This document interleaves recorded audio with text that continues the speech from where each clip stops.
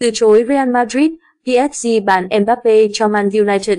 Man United hiện đang nổi lên là ứng viên hàng đầu trong việc chiêu mộ ngôi sao người Pháp Mbappe từ PSG.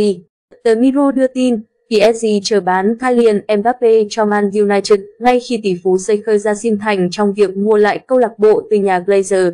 Cũng theo nguồn tin này, đội bóng nước Pháp không bán tiền đạo sinh năm 1998 cho Real Madrid do mối quan hệ đôi bên đổ vỡ từ hè năm ngoái. Mbappe đã thông báo rõ cho PSG anh sẽ không kích hoạt gia hạn hợp đồng đến 2025. Điều này khiến PSG buộc phải bán Mbappe nếu không muốn mất trắng ngôi sao của mình vào năm sau. Nếu mua Mbappe, Man United cũng phải trả một mức phí chuyển nhượng kỷ lục lịch sử bóng đá Anh. Nhưng mối quan hệ gần gũi giữa PSG và MU nếu Sheikh Jassim mua MU thành công có thể tạo điều kiện thuận lợi cho một thỏa thuận bom tấn của làng bóng đá thế giới. Tuy được động viên việc đổi chủ Man United sẽ không làm ảnh hưởng đến kế hoạch chuyển nhượng hè của câu lạc bộ, nhưng Erik ten Hag vẫn không khỏi đau đầu.